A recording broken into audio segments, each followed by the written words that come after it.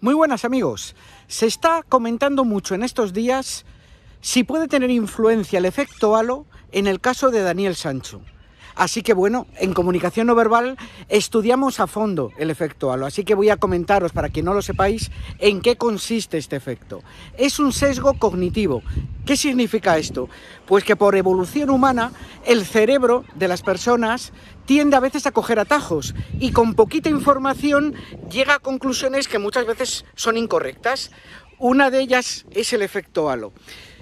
¿Qué es? Pues algo tan sencillo yo creo que tan injustificado y tan absurdo, que cuando vemos a una persona atractiva, ya sea chico o ya sea chica, tenemos la tendencia natural a otorgarle otras cualidades positivas, además de la de su atractivo.